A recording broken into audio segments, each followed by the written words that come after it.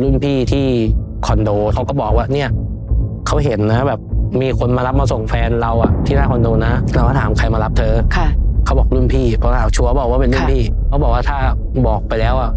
ไม่เชื่อก็ไม่ต้องถาม เราก็แบบเฮ้ยมันมันยังคาใจเราอยู่นะมันอยู่ในใจเราก็แบบ ลอง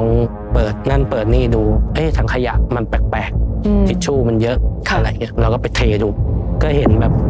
เห มือนในข่าวเลยอะพี่เอ๊ะเป็นถุงยางทำไมยที่ใช้แล้วอะไรเงี้ยเราเอ้ยมันไม่ใช่ของเราค่ะมันช็อกมากนะ